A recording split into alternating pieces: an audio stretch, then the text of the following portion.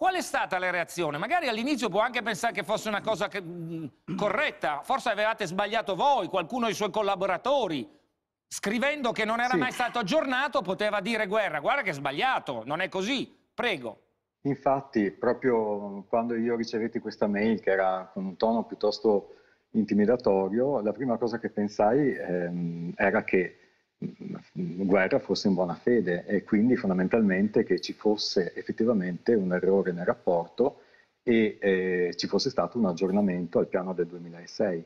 Quindi chiesi al team di fare tutte le verifiche del caso, di confrontare tutti i piani che venivano chiamati pandemici per l'Italia dal 2006 fino ad oggi e eh, poi mi accorsi che in realtà non si trattava affatto di buona fede e quindi diciamo che eh, il, il tono della dive- e anche la telefonata che ci fu subito dopo assunse tutto un altro connotato perché si trattava eh, di un copia e incolla e eh, lui quindi stava cercando evidentemente di coprire o di cer- chiedere a me di falsificare qualcosa eh, in un periodo in cui lui era stato direttore per la prevenzione, quindi io vedevo in questo un gravissimo conflitto di interesse rispetto alla posizione che occupa oggi. La fermo un secondo.